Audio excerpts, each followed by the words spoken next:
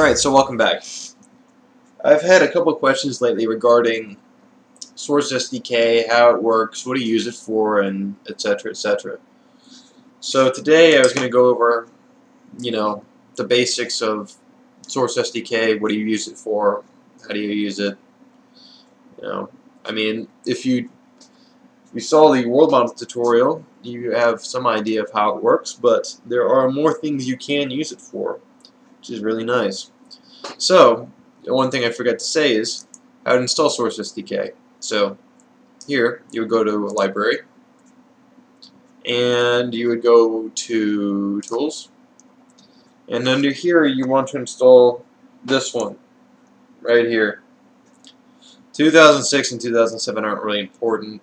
I mean, I think we just test beds or whatever. I don't even know, to be honest. But that's the one you need to install. So, let me launch it really quick. Right here. And this is what you'll be greeted with. So, right here. These are the engine versions. They don't really do much, to be honest. I find. 2006 is Deathmatch. Everything's been updated from 07 to MP. And, you know, you can set this to be whatever directory you want. So say you want to access Team Fortress 2 models or anything like that, you know, you can access them from that game. I mean, I have all my stuff in Counter-Strike. So I keep all my stuff there, and that's what I use all the time. Now, the main tool I'll be talking about today is Model Viewer, which is really nice. So I just opened it up. Alright, so right here, you know, if you want to load any model, you just go to File, Load Model. And um, you see you have all the default models, you know, all that stuff. And let me go here. Actually, let me just go offline. It's good. Alright. Anyways, you have all these default models right here. Simple as that. You also have default weapons. So you can kind of get an idea of how they all work. So I'm just going to pick the AK-47. Alright. So, you see right here, I'm holding down left mouse button. If it's green like this, it will rotate it like this if, when you hold down the left mouse button. You're able to go up, down, left, right. Now, if you have it outside of that circle, where it's yellow, you will rotate it.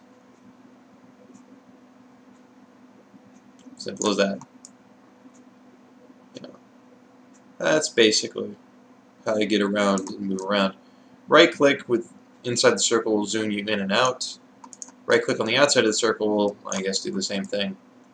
So, that's all said and done. I'll go through all these little things.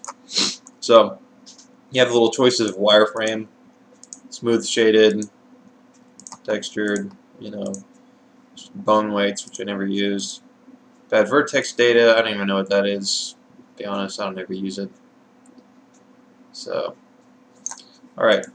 So I'm just going to go to um, the one I usually use, which is textured. Alright. So right here, normal maps.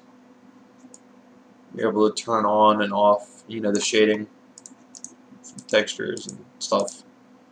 Attachments, that will give you the shell eject and muzzle flash I was talking about.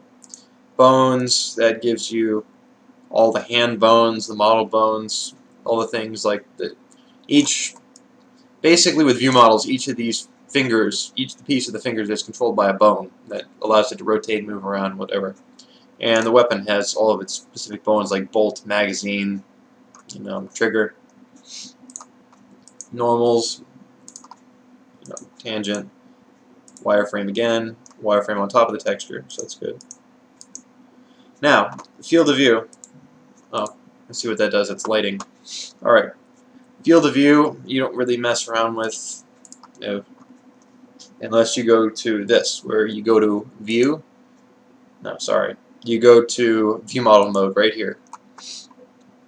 And this will give you what you're seeing in game. So right here I can set this to whatever I want, you know. Usually I think it's at 70 for CSS. I don't even know, to be honest. But this is where you can set your view model. I accidentally did that. Uh, if that ever happens, just go back to that and it will fix it. So you can get things like um, backgrounds, shit like that. Hitboxes, you don't really need that stuff. You know, just messing around with these.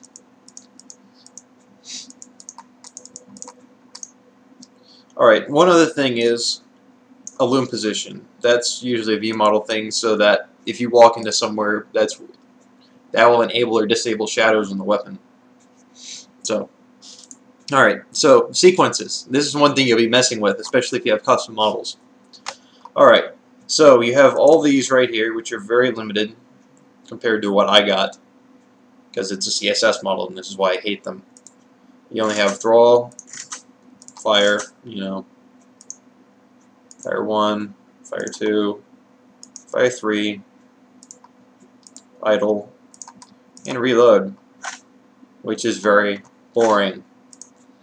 So, if you want to see something that you can actually use in-game, the things that are ActVM, go to here, show actives. And that will show you all the ones that you have, like draw, idle, and primary attack. Alright. You're also able to blend animations. So if you want to blend, primary attack and reload, you can do it. And it looks very creepy. But it does work. So if you want to do reload and draw, uh, weird as well.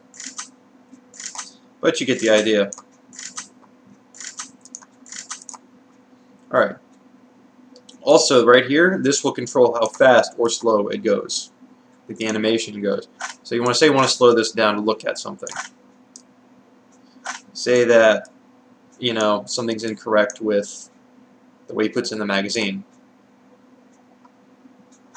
You're able to look at that using this. Alright. So, model, flex, physics, bones, attachments. Attachments we already went over in the last video. There's a muzzle flash attach attachment. There's the shell eject one. And IK events. I mean, this is basically about it. Now, I'll go ahead and show you some other things, like um, world models. I already showed you that. But just to give you an idea what you're dealing with.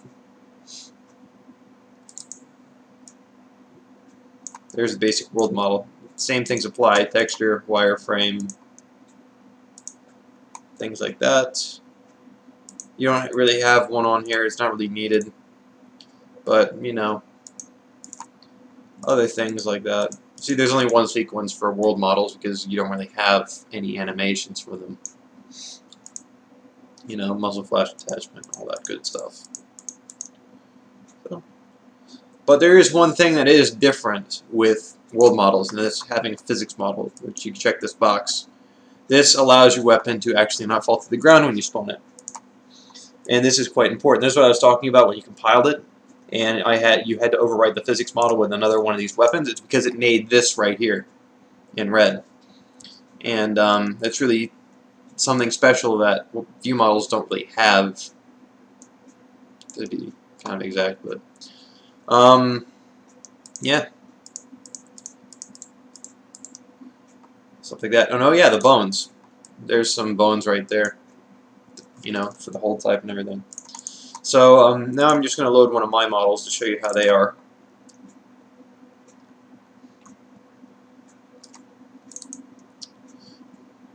Pretty interesting. Alright, there is one thing I haven't gone over yet, and that is, how do you get models in, and how do you get textures on them?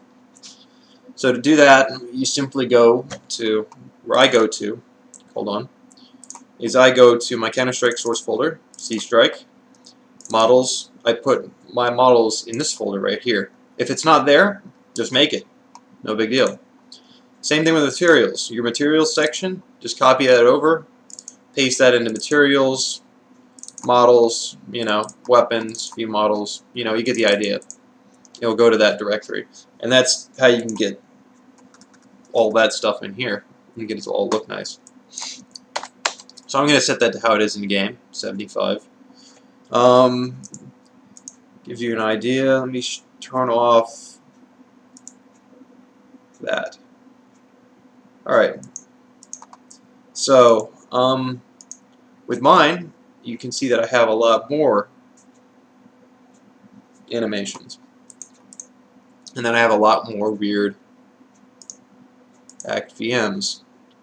See, these are all custom ones. You can use these, but you usually don't find them originally in um, the models, unless they're custom made like this one. So, um, kind of using this will give you an idea of how to put in the correct code so you can use it. Like, you know, reload, reload empty, deploy, and this one's just different versions of it, like load, unload, stuff like that. So I can just go through them all. Melee animation that I haven't used yet. Idle, idle empty. So you can see, yeah, try to find one with a lot of animations to it. Oh, that looks weird. And you can also slow everything down, you know.